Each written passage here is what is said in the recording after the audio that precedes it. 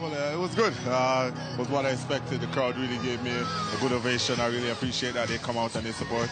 I'm really happy about that. Uh, I was a little bit nervous, but as soon as I got on the field, I think the nerves kind of went. Uh, uh, I wish I had more touches, but I'm not fit yet. But so I just got to put in the work, get up to speed, and I'm looking forward to a great season. Yeah, definitely. I think my fitness is much better.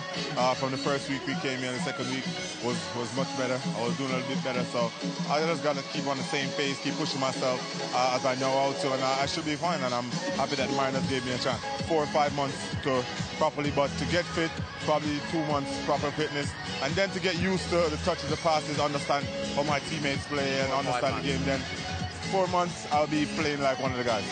Well, it's hard to compare right now, you know what I mean? Uh, my first one, uh, as I said, it was a great feeling because they came out in support, but right now I'm just trying to get used to the guys. Uh, uh, it's a wonderful moment to actually get a chance to play at a high level, play professional football, so that's what I'm happy about. I think along the line when I start winning championships with this team because I believe in them, then uh, the, the moment will get higher and higher and higher. But right now, I'm just happy to be here.